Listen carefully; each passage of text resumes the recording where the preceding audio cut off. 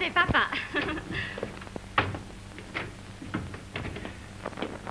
Bonjour, ma petite Athénaïs. Bonjour, papa. Bonjour, mademoiselle. Dis donc, Hum Ma foi, non. au cercle. Ça va bien, Adèle. Dis donc. Hum Hier, on m'a présenté au duc de Bligny. Non, mais tu te rends compte? Le duc de Bligny, hein? Eh ben, ma fille, il, il a été enchanté de faire ma connaissance. Il m'a dit que...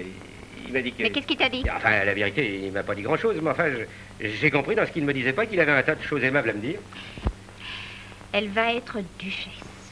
Qu'est-ce que tu dis? Rien. Enfin, je ne sais pas de qui tu parles, mais moi, je suis presque l'ami du duc de Bligny. Oh, mon chéri, voyons, fais attention, ne lève Ah. pas les étiquettes après, Oh, voyons. m'agaces. Je sens que je monte vers la gloire. L'argent, c'est bien, c'est entendu, il en faut. Mais la gloire, serrer la main d'un duc.